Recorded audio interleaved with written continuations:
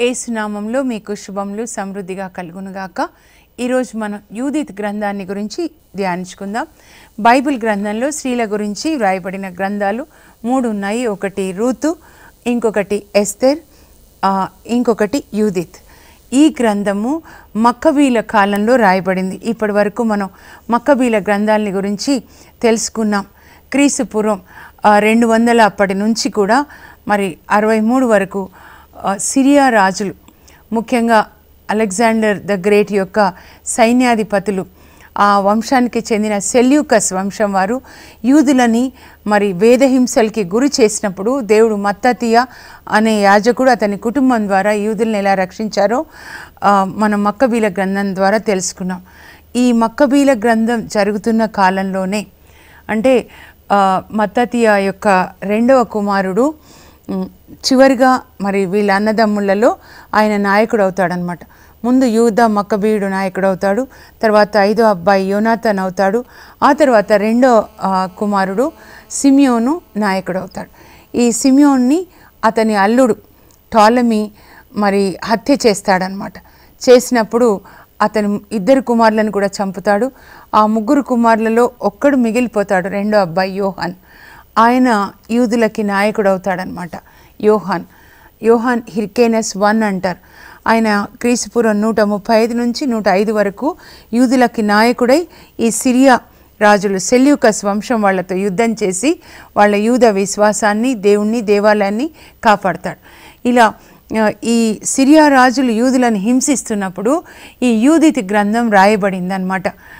ఈ యూదిత్ గ్రంథం ఎందుకొరకు రాయబడిందంటే ఆ యూదులలో దేవుని పట్ల రోషాన్ని కలుగజేయడానికి వాళ్ళలో భక్తిని పెంపొందించడానికి ధైర్యంగా శూరులుగా యుద్ధ శూరులుగా పోరాడి విశ్వాసాన్ని కాపాడండి దేవుని దేవాలయాన్ని కాపాడండి అని యూదులలో విశ్వాసాన్ని కలుగజేయడానికి పంపొంది పెంపొందించడానికి దేవుని కొరకు గొప్ప కార్యాలు సాధించడానికి ఈ గ్రంథం రాయబడిందనమాట ఈ యూదిత్ గ్రంథంలో పేరు చెప్పినట్లుగానే యూద వనిత ఎలా ధైర్యంగా శత్రు శిబిరానికి వెళ్ళి శత్రువుల యొక్క సైన్యాధికారి అయినటువంటి హోలోఫెర్నెస్ తలని ఎలా నరుకుతుందో ఈ గ్రంథం వివరిస్తుంది అయితే మొదటి రెండు అధ్యాయాలు చూసినట్లయితే అక్కడ ఇలా ఇలా సిరియా రాజు నెబుకద్నెజరు ఆయన సైన్యాధికారి హోలో ఫెర్నెస్ ఆయన యుద్ధానికి వస్తూ ఆయన ప్రపంచంలో అన్ని దేశాల్ని జయించాలని అలా ఒక్కొక్క దేశాన్ని జయిస్తూ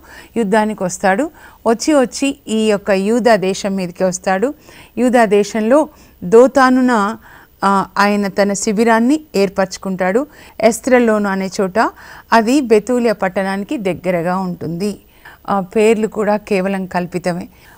నెబుకద్ నెజర్ రాజు బాబిలోనియా రాజు అనమాట అసిరియా రాజు కాదు. ఇక్కడ అసిరియా రాజు అని అలా రాసినటువంటి రచయిత అలా రాస్తాడు. కానీ రచయిత పేరు కూడా తెలీదు.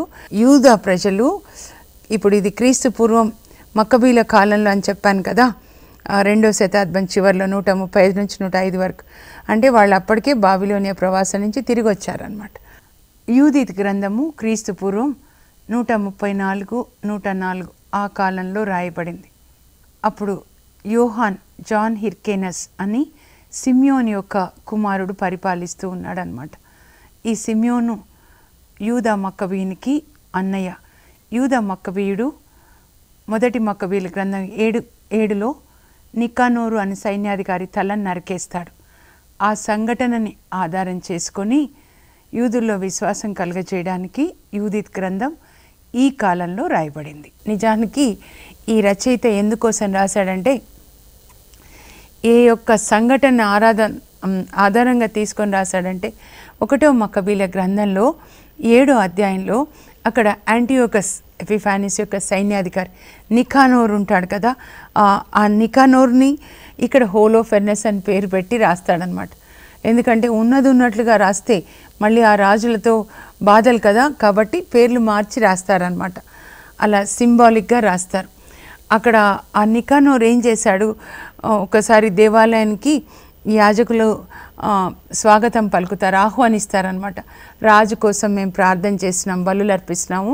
మీరు రండి అని అంటే ఈ నికానోరు సైన్యాధికారి వచ్చి యాజకుల మీద ఉమ్మి వేసి మీ దేవాలయాన్ని నేను కాల్ చేస్తా యూద మక్కబీన్ అతని సోదరులని అనుచరులని నాకు మీరు అప్పగించకపోతే అని ఎగతాలు చేస్తాడనమాట హేళన చేస్తాడు చేసి యుద్ధానికి వెళ్తాడు. వెళ్తే అక్కడ యుద్ధంలో యూద మక్కబీయుడు నికానోరు తలని చేతుల్ని నరికేస్తాడనమాట మొండాన్ని అక్కడ ఎరుశలేం ప్రాకారాలకి వేలాడగడతాడనమాట ఆ ఈతి వృత్తాన్ని ఆధారంగా తీసుకొని నికానోరు పేరు నికానోర్ అని చెప్పకుండా హోలోఫెర్నెస్గా మార్చి ఒక విధవరాలు యూద వనిత యూదిత ద్వారా దేవుడు ఎలా ఇజ్రాయెల్ ప్రజల్ని రక్షించాడు అని ఈ గ్రంథం బోధిస్తుందన్నమాట.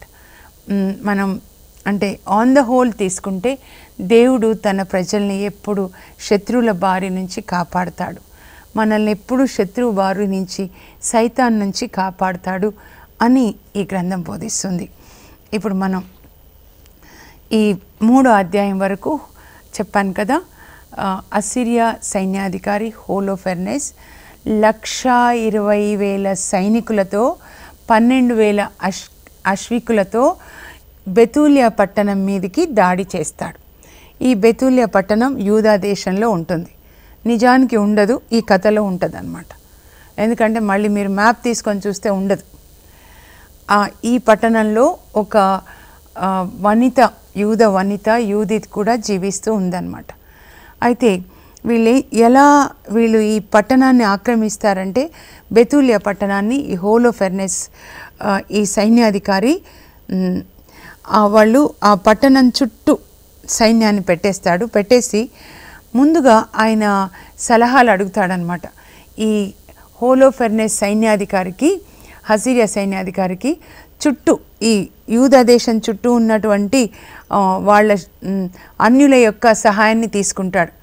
మోవాబు రాజులు తర్వాత అమోనియ రాజులు చుట్టూ ఉన్న వాళ్ళందరినీ పిలుస్తాడు ఎలాగో ఆయనకు తెలుసు వీళ్ళందరూ యూదులకి శత్రువులని తెలిసి వాళ్ళందరినీ పిలుచుకొని తన సైన్యంలో తెచ్చుకొని కూలికి తెచ్చుకుంటాడు ఈ సైనికులను అనమాట మోవాబు సైనికులని కూలికి తెచ్చుకుంటాడు. తెచ్చుకొని ఆ మొవాబు నాయకులని అమోనియా నాయకులని సలహాలు అడుగుతాడు. అసలు ఎవరు ఈ యూదులు ఎవరు? వీళ్ళ వీళ్ళ ఈ వీళ్ళ ఆచారాలు ఏంటి? ఏంటి అసలు వీళ్ళ చరిత్ర ఏంటి? మీరందరూ వీళ్ళ చుట్టూ నివసిస్తూ ఉన్నారు కదా. వీళ్ళ చరిత్ర ఏంటి? వీళ్ళని ఎలా ఓడించవచ్చు నాకు కొంచెం సలహా ఇవ్వండి అని వాళ్ళని పిలిచి అడిగినప్పుడు అమోనియా నాయకులని మొవాబు నాయకులని పిలిచి అడిగినప్పుడు అమోనియా నాయకుడు చెప్తాడనమాట. ఏమని చెప్తాడంటే వీళ్ళ వీళ్ళ చరిత్ర అంతా చెప్తాడనమాట. ఇది ఐదు అధ్యాయంలో ఉంటుంది. మీరు తప్పకుండా చదువుకోవాలి. ఎందుకంటే ఇజ్రాయిల్ల చరిత్ర ఇక్కడ ఉంటుంది అప్పుడు హోలో ఫెర్నెస్కి ఈ అకియోర్ అనమాట అమోనియా నాయకుడు ఏం చెప్తాడంటే దొర వీళ్ళు ముందు కల్దీయులు. అంటే అబ్రాహాంని దేవుడు పిలువక ముందు ఆదికాండం పన్నెండు పదకొండు అధ్యాయం నుంచి ఇప్పటి వరకు చరిత్ర చెప్తాడనమాట మొత్తం. మక్కబీల వరకు అంటే క్రీస్తుపూర్వం రెండు వందల వరకు చరిత్ర చెప్తాడు.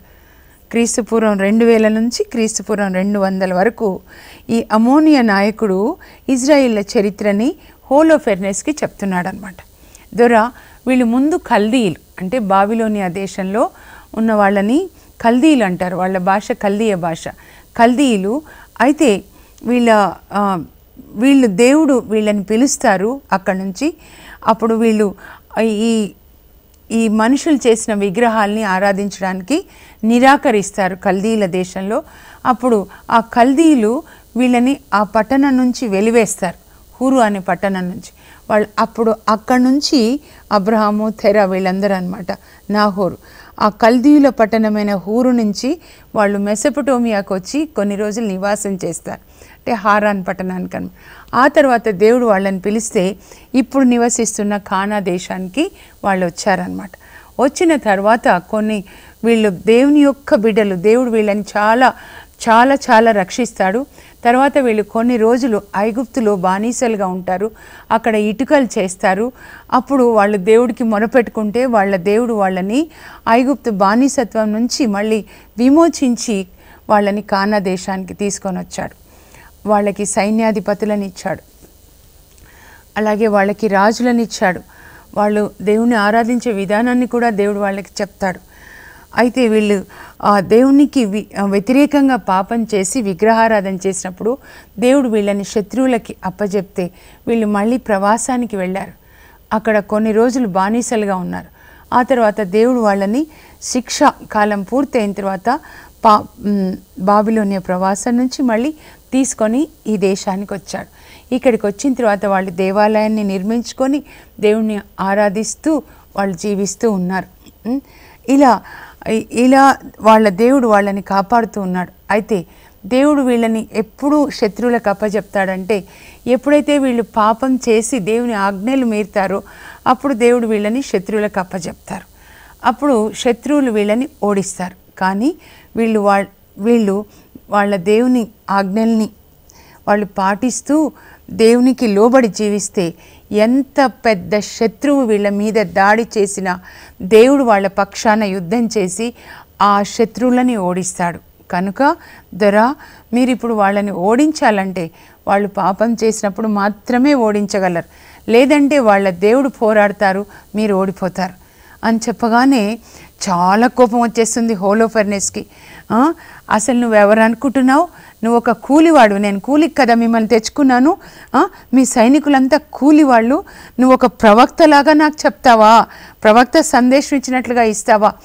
బంధించండి ఈయనని చెప్తాడనమాట అప్పుడు అక్కడ ఉన్న వాళ్ళందరూ ఈ హోలో ఫెర్నెస్ కింద సైన్యాధికారులు ఉంటారు కదా. ఎందుకంటే లక్ష ఇరవై వేల మంది సైనికులు పన్నెండు వేల ఆశ్వికులు ఇంకా అమోనియా సైనికుల్ని మువాబు సైనికుల్ని కూలికి కూడా తెచ్చుకుంటాడు యుద్ధం చేయడానికి. బంధించండి అని చెప్తే ఆయనని బంధించేసి వెళ్ళి తీసుకెళ్ళి వాళ్ళ గురించి బాగా చెప్తాడా? వాళ్ళ దేవుడు యుద్ధం చేస్తాడని చెప్తాడా? అక్కడ పడేసి రండి ఆ బెతుల్య పట్టణం. పాదం దగ్గర పడేసి రండి అని చెప్పి ఈ లోకంలో నెబుకద్నేజర్ రాజు దేవుడు ఆయనే దేవుడు ఆయన కాక ఇంకా దేవుడు ఎవరున్నారు? అని చెప్పేసి అక్కడ పడేసి రండి అని చెప్తే పాప సైనికులు ఈ అకియోర్ ఈయన పేరు. ఈయన బంధించి బెతూలియా పట్టణ పాదాల దగ్గర విడిచిపెడతారనమాట ఈ బెతూలియా పట్టణం ఎలా ఉంటుందంటే కొండ మీద ఉంటుందన్నమాట. వాళ్ళు కొండల దేవుడు. దేవుడిని అలా ఆరాధిస్తారనమాట లోయలకు దేవుడు మా దేవుడు కొండలకు దేవుడు అంటారు యూదులు అనమాట కొండ మీద ఉంటుంది కొండ క్రింద ఈయనను అక్కడ విడిచిపెడతారు. అప్పుడు ఈ అసిరియా శిబిరం నుంచి సైనికులు అకియోర్ని బంధించి ఇక్కడ వరకు వచ్చారు. కొండ పాదాల దగ్గరికి అనగానే పైనున్న యూదుల సైనికులు జాగ్రత్త పడి పైనుంచి వాళ్ళ మీద ఒడిసెలలు విసరడము రాళ్ళు వేయడం చేస్తారు. అమ్మో వాళ్ళు మళ్ళీ వెనక్కి వెళ్ళిపోతారనమాట ఇప్పుడు ఒక చిన్న విరామం తీసుకుందాం. మధురం మధురం దీపం.